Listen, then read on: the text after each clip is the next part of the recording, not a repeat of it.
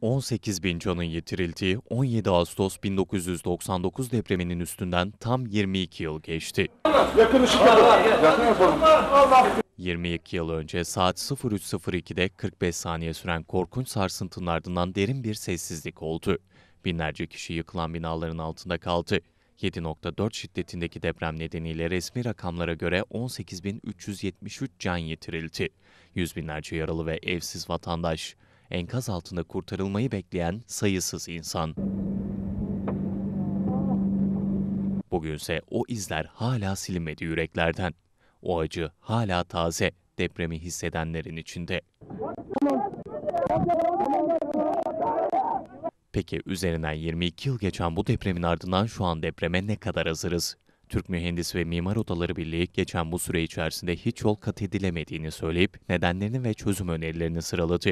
Bugün geriye dönüp bakıldığında aradan geçen 22 yılda bir arpa boyu yol kat edilmediği görülmektedir.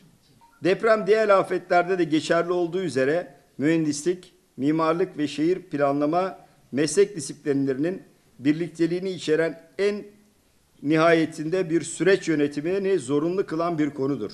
Bu nedenle merkezi ve yerel yönetimlerin hepsinde çalışan teknik personel sayısının ivedilikle artırılması gerekmektedir. Halkın güvenli yaşam hakkının korunması için şehir plancıları odaları tarafından eğitilen ve belgelendirilen yetkili mühendis, mimar, şehir plancıları eliyle yapılması sağlanmalıdır. Mimarlar Odası Bursa Şube Başkanı Şirin Rodoplu Şimşek ise eğitimde düzenleme yapılması gerektiğine dikkat çekti. İki tane hocanın bulunduğu okullarda mimar ve mühendisler yetişmekte. Şu an 300 bin, 350 bin sıralarındaki kişiler iki matematik sorusu cevaplayarak mühendis olabilmekte.